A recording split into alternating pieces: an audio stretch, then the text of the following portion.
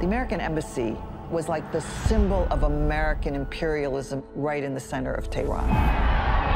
اینکه حالا جنبش دانشجویی هستیم با این حال تصرف یا اشغال سفارت امریکا اقدام خب خیلی مهمی بود I go to the window and I look out. I see a vast crowd of people.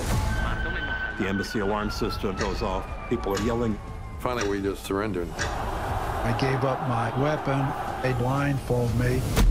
I thought it was it for me. The American embassy in Tehran is in the hands of Muslim students tonight. They're holding the Americans hostage. It's an extraordinary act and an audacious act to humiliate the United States. And it was having a big impact on the American public.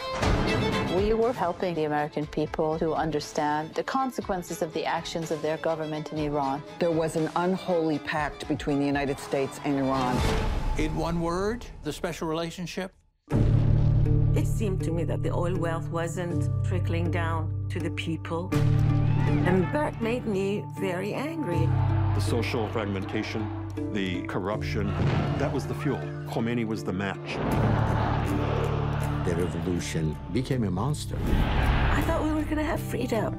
They were just absolutely convinced that we were spies. My interrogation was unpleasant, let's put it that way. The hostages have been there for almost a year now. This is going to be the basis of this election.